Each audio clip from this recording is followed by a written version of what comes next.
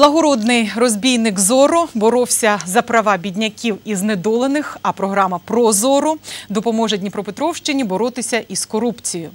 Проект створили спеціально для контролю нечистих на руку чиновників у сфері державних закупівель.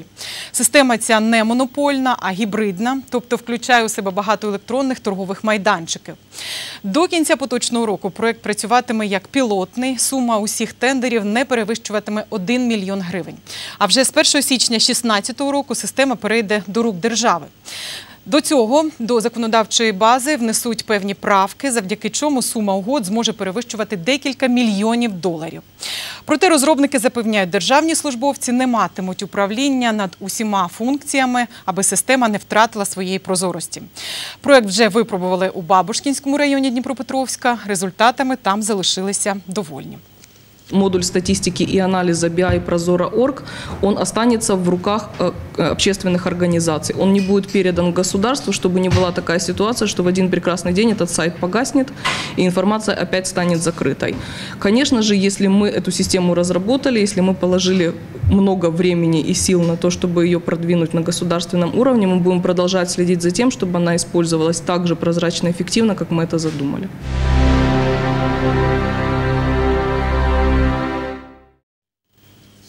І сьогодні, як завжди, у прямому ефірі в нас працює інтерактивне опитування, чи покращить ефективність роботи уряду України кадрова чистка. Її пропонує провести е, прем'єр Яценюк. Що думаєте ви? Хочемо дізнатися сьогодні протягом нашого випуску. А, 370 31 01 – це наш прямий телефон. І вже маємо перший на сьогодні телефонний дзвінок. Доброго вечора. Що думаєте ви? Добрый вечер. Добрий. В народе говорят, рыба гниет с головы. Вот в первую очередь бы Арсения Петровича проводить на все четыре стороны, а вместо его поставить москаля. Вы посмотрите, человек какой, наводит порядок элементарно. А склад уряду э, устраивает. Нормальный там, э, возьмите хоть здравоохранение, он один, ему тяжело. Он без команды зашел. Возьмите любого человека, ну, тяжеловато. Арсений Петрович давно во власти, поэтому Пора міняти. Дякую за ваш дзвінок, за вашу думку.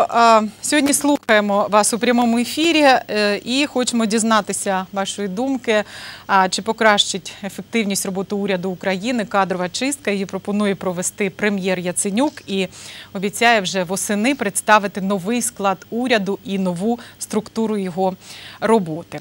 Телефонуйте до кінця випуску. Маємо час, готові вас слухати. І е, номери для відповіді так чи ні з'являються на ваших екранах. І далі, щоб розібратися в деталях програми Прозоро, пояснити її суть зрозумілою для всіх мовою, запросили гостя. Голова правління громадського об'єднання Громадський контроль Артем Романюков. Тема цікава. Слухайте уважно. А як будуть запитання, телефонуйте до нас в ефір. Добрый вечер. А, Добрый вечер. Название действительно такое громкое, мы вот ассоциируем его с Зора, да, м, такой э, вот помощь для наших людей. А, Давайте подробнее расскажите, что за программа и как она заработает. Э, Ну, это не совсем, э, мы предпочитаем называть ее система, да, это такая система, которая прежде всего была разработана для проведения так называемых допороговых закупок.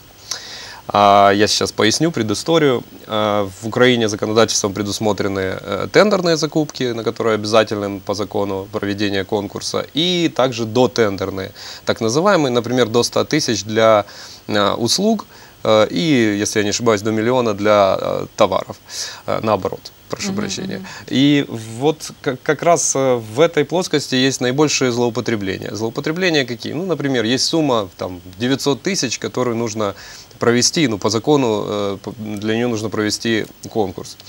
Ну, нечистые на руку чиновники разбивают сумму на несколько по 99 тысяч, чтобы провести без конкурса эти торги, и как бы выигрывает тот подрядчик, который или поставщик, э, который, Который должен выиграть. Ну, точнее, он даже не выигрывает, просто с ним заключается договор. А, Так вот, система Прозора, она в первую очередь разработана для э, допороговых торгов, чтобы они добровольно э, проводились через систему. А, Какой мы имеем здесь э, плюс? Э, Система устроена по принципу аукциона, который действует по принципу ну, так называемого редукциона. То есть ну, люди торгуются банально там, в э, онлайн-режиме, есть шаг, э, с, с которым можно торговаться по тому или иному лоту, и э, вот в таком режиме проходят э, онлайн-торги. Э, для чего это нужно? Если лот выкладывается в публичную плоскость, то ну, как минимум уже взять э, из тех подрядчиков или поставщиков, которые предложили свои услуги онлайн, выбрать того, кто продает их в 10 раз дороже, э, ну, уже будет не совсем удобно, поскольку это будет банально видно э, любому Ну, человеку, Должно который... быть невозможно, да? Э, Да, ну это будет невозможно, когда на законодательном уровне именно система Прозора станет той самой, по которой будут проводиться и тендерные, и дотендерные торги. Э, Тогда э, это уже будет, скажем, э, предусмотрена ответственность за это э, законодательно. А по состоянию на сегодня мы просто эту систему, ну скажем так, добровольно внедряем соответствующими распоряжениями глав департаментов. Что значит добровольно внедряем соответствующими распоряжениями? Это значит- Распоряжение это не совсем Ну, добро. э, с- э, ну, скажем так, э, вот вы упомянули про Бабушкинский район. Да, я знаю, что пробовали, да, уже Да, вот успешно на городском, э, Пробовали в Бабушкинском районе, а на Да. городе пробовали На городе не у нас, к сожалению, не прошло. Депутаты провалили голосование за систему. Ну, нужно справедливости ради сказать, что было всего 69 человек в зале Ну, из как обычно, 120 наши депутаты, лета. да. Все уехали отдыхать. Из них 23 человека было против, точнее, не голосовали за, если уж быть совсем точным. Мы, как бы, э, как громадский контроль, довольно э, много усилий приложили для того, чтобы максимально обнародовать э, имена героев. Но это ну, не смертельно, скажем так. То, то, что решение не прошло на уровне города, я снова вернусь к Бабушкинскому району, который вы упомянули. Э, Там вот, например, э, глава района, он просто своим распоряжением ввел э, ис- использование системы Прозора обязательным для всех торгов, которые э, распорядителем средств, по которым является то или иное предприятие Бабушкинского района. То есть, ну, это в сегодняшней терминологии считается добровольным использованием системы. Сейчас они все свои закупки делают через систему. И э, ну вот даже на первой закупке они покупали офисную бумагу, если я не ошибаюсь. Боже, даже на закупку офисной бумаги нужно проводить вот такой тендер. Это да? совершенно несложно. Если вы когда-нибудь бывали на обычных там э, интернет-аукционах или площадках, где люди просто продают свое э, имущество ненужное, то вот это не сложнее. Регистрация занимает 10 минут. А Дальше лот выкладывается в систему, и дальше торги идут абсолютно в автоматическом режиме. Все подрядчики, все поставщики, которым это интересно, они просто регистрируются, э, выдают свою цену, ознакомливаются предварительно, естественно, с условиями, С условиями, торгов. да. То есть это даже проще, чем проводить, э, чем искать подрядчика ну, там, в ручном режиме. Здесь вы просто выкладываете свое намерение закупить ту или иную там, технику или э, какие-то предметы, выкладываете их в сеть, и подрядчики сами вас находят. Если не преследовать каких-то коррупционных целей, то Прозоро только упрощает работу А если чиновника. преследовать, тогда что? Тогда не будут выкладывать или не будут э, что, принимать участие в этой системе? Вот если преследуют. Ну, Есть, например? Есть несколько способов, скажем, саботирования, даже, э, даже если вы уже пользуетесь системой, то есть несколько способов са- саботирования торгов в самой системе. Можно, например, выставить заведомо заниженную стоимость лота. А, Как, например, вот сейчас у нас э, происходит такая ситуация с ДК «Энергетик», который выставил офисные стулья и хочет их купить по 150 гривен за штуку. Ну, мы даже так бегло проанализировав э, информацию в интернете, ну, скажем, минимум, который мы нашли, 148. То есть под, э, поставщикам даже не за что торговаться в этой закупке. То есть есть такой способ. Э, Можно, в принципе, и здесь какие-то договорные условия, ну, с кем-то договариваться, чтобы он выигрывал, а тот, кто дает минимальную цену, он будет, например, отменять, э, отказываться от э, торгов в последний момент. Но, скажем так, если раньше это все происходило кулуарно, и этого никто не мог увидеть, то сейчас вы можете увидеть, кто отказался от торгов, спросить, по какой причине, спросить у чиновника, почему выиграла э, Вы фирма это с большей кто? ценой. Кто может Мы. спросить? Вы, э, громадский Все мы. контроль, да? Нет, ну, то есть, любой а, а если это обычный горожанин, э, куда, например, он может зайти, на какой сайт? И вот как вот, вот сложно ли в этом разобраться человеку, который, ну, я не знаю, там, обычный пользователь интернета, ну, не очень Человеку, знакомому с э, компьютером, который там ежедневно использует какие-то там базовые э, пользовательские функции, это совершенно несложно. Есть м, сайт Прозора, вообще он устроен по принципу просто агрегатора, э, который собирает в себе несколько независимых площадок.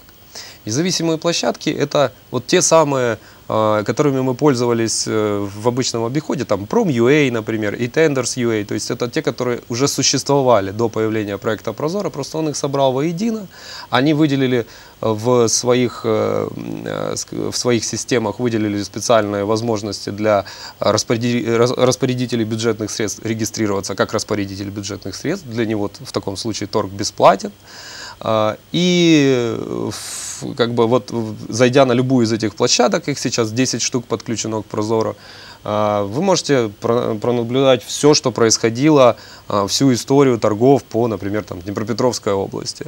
А, Также доступна некоторая статистика, в частности, там, по экономии средств, которая была достигнута от того или иного э, до, до внедрения Прозора и после.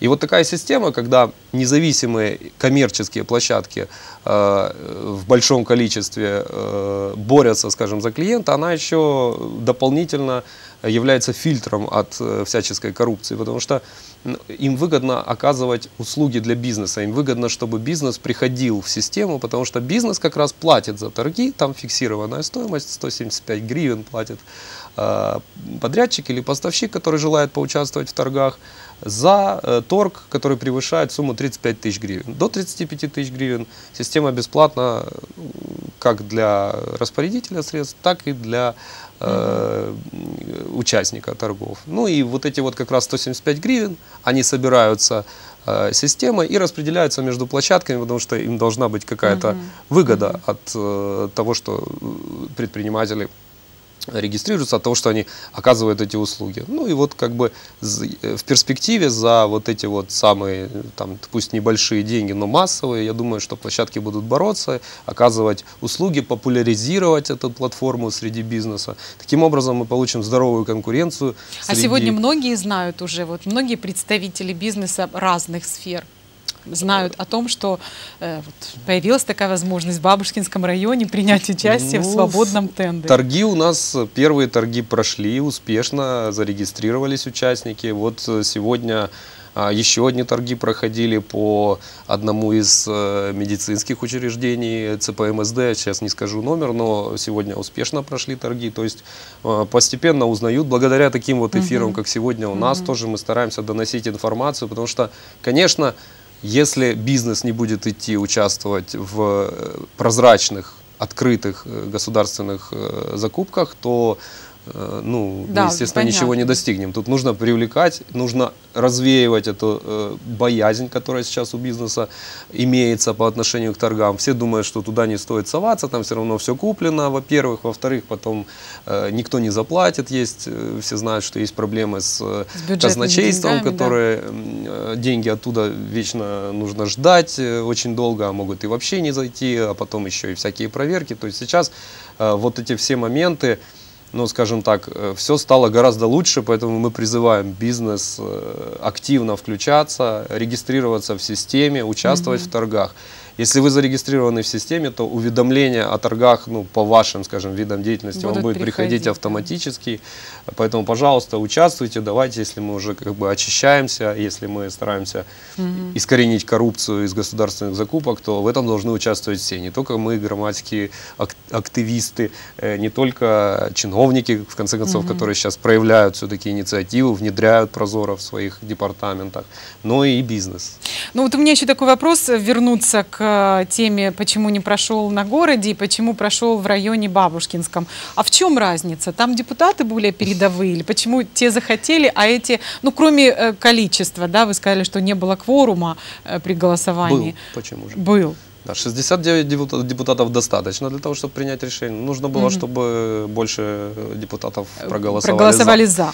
Э, Тут вот э, почему? отличие, отличие в том, что Бабушкинский район э, внедрил систему э, своим собс- э, распоряжением одного лишь человека, э, главы, собственно. Не А, нужно голосовать. Да, то есть голосование здесь было не нужно, это было просто распоряжение. В случае с городом у нас ну, не получилось так э, пройти, мы обращались к Галине Булавке, но пока что вот э, как-то не, не получилось у нас.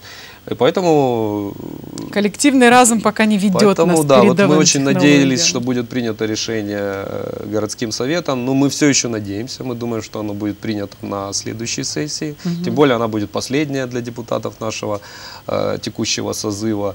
Я думаю, что многие из них захотят оставить след в истории э, положительный, сделать Днепропетровск один, одним из трех городов, которые присоединились к Прозоро. Сейчас Киев уже присоединился в полном объеме, Львов, и вот Днепропетровск на очереди. Я очень надеюсь на это.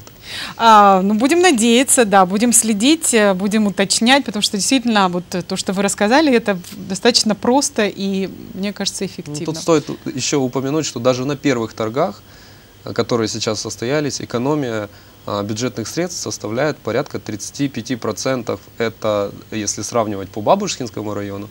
А есть э, районы у нас, э, например, если я не ошибаюсь, Кировский, который закупал ту же бумагу вообще в два раза дороже, чем та цена, по которой Ну, прошли часто, да, последние это- торги. То есть э, ну, экономия колоссальная, она измеряется миллиардами на национальном уровне, учитывая то, что сейчас к системе присоединены уже большинство министерств и несколько городов, то если даже зайти на сайт, там есть эта статистика, экономия уже измеряется миллиардами. Будем надеяться, что наши депутаты и чиновники захотят экономить бюджетные деньги і прислушаються, все-таки учтуть. Спасибо за участь. А я ще раз дякую гостю студії, голова правління громадського об'єднання Громадський контроль Артем Романюков. І рухаємося далі.